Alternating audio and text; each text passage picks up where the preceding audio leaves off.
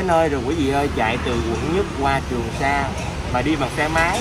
Ngồi phía sau ôm cái chậu bông, cái vỏ bông rất là hoành tráng luôn. Gió tạt được muốn rớt chậu bông mấy lần nhưng mà không sao, mệt, nhưng mà tại tặng cho người đặc biệt của mình, một người mình rất là yêu mến, cho nên là không sao hết. Bây giờ lên thôi, còn ai là bí mật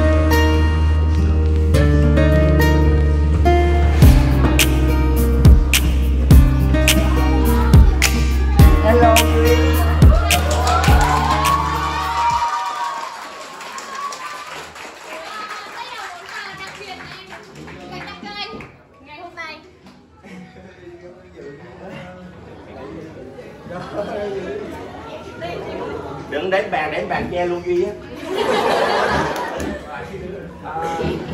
À, không biết nữa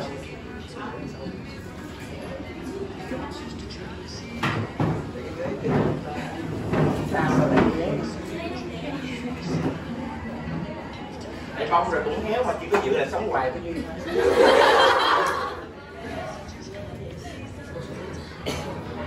và anh dự ờ, hôm qua có biết là anh có buổi áo tang và anh dự ờ, muốn ờ, tới để làm một món đẹp tính đi cho anh Duy ừ. à, mỗi đi, đi xe máy ngồi sơ ơn cái chậu bông. À, à, tại vì muốn tạo bất ngờ cho Duy thôi tại vì trước giờ ra Hà Nội mấy lần xem Duy đá rồi cũng à, nói chuyện với Duy qua Facebook nhưng mà đây là lần đầu tiên được gặp Duy và tạo à, à, bất ngờ cũng như có những món quà mà dự dành cho Duy à, sắp xếp thời gian bởi vì à, rất là mến Duy. Và sẵn ngày hôm nay thì lần đầu gặp Duy ở ngoài đời được nói chuyện với Duy thì cũng chúc cho Duy rất nhiều sức khỏe.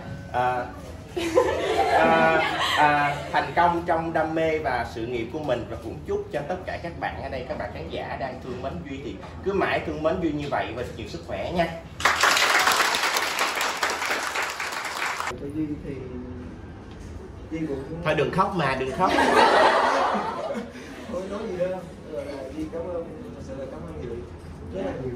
Thôi nãy giờ ngồi quay thì à, Thôi ngồi đi ngồi đi ngồi đi. Không sao.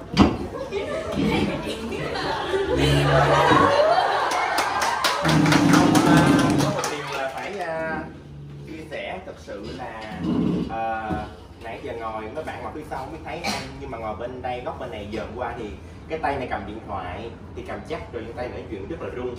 Đĩ nó rất là rung và làm dự nhớ cái hồi mà offline của ờ, Văn Đức á cũng làm ở Sài Gòn thì ờ, cũng có ghé chơi rồi làm MC uh, ờ, vụ cho Đức. Rồi cái ngồi á hơn là tại đây duy không có gì che giấu hết chứ hồi Đức là cái bàn che lại nhưng mà cặp cặp chân á mình lúc đầu mình tưởng ngồi kêu hãnh rung giò ai vậy đó là ai vậy là rung từ bên trong rung ra thiệt.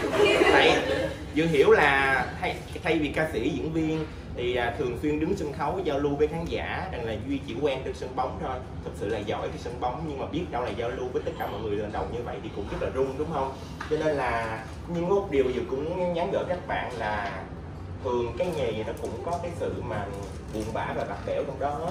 Thì à, dự thắc mắc là à, những người khán giả thương mến duy thực sự khi mà mình thương một người đó thật thực sự mình mến thực sự thì ngoài cái tài năng của người đó ra mình còn mến về cách cư xử cái sự tử tế trong cuộc sống nữa. Nhưng mà dự vẫn không hiểu tại sao ví dụ như đêm đó à, người này ghi bàn mình tung hô mình đưa người ta lên đỉnh vinh quang nhưng lỡ một cái trận nào đó người ta à, bị à, hụt hoặc là không có ghi bàn được thì mình lại dìm hoặc là không còn yêu mến nữa. Cho nên dự vẫn mong là nếu các bạn yêu mến duy thực sự thì ngoài cái tài năng đá bóng của duy ra thì à, phải yêu mến duy bởi vì duy là người cư, cư xử rất dễ thương và tử tế ngay cả với dự. Chỉ lần đầu tiên gặp vài lần thôi nhưng mà à, những cái lời nói và hành động của duy làm dự rất là à, cảm kích về cái lối sống. Thẳng mềm lòng. Không mềm lòng mà từ lúc chưa nói chuyện rồi cho nên là dự